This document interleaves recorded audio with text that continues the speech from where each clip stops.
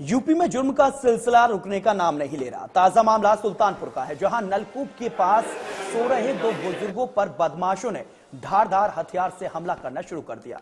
इसी दौरान ग्रामीणों को शक हुआ तो उन्होंने शोर मचाया, जिसे सुनकर बदमाश मौके से फरार हो गए।